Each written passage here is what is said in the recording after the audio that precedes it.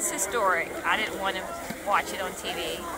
And it's showing the president you support his politics when you show up early in the morning in the cold, that we're with him. And we just didn't vote for him, but we're here to support him.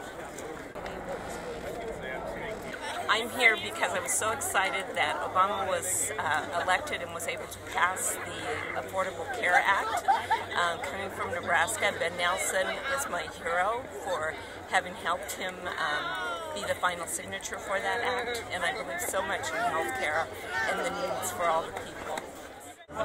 I think in the second term he's actually going to have the ability to, to do things that um, he wasn't able to do in the first term. Basically, he's he's now his own man, and he can he can do what he feels is best for the country in the in the situation of being in his second term, so that he has a little bit more power, I believe, and um, will fight a little bit harder for things that he really believes in because he knows that um, he's been reelected and he has the people behind him. I was around in 1960 when Martin Luther King was assassinated, and we're uh, coming together as a unity. And there's no more black America, white America.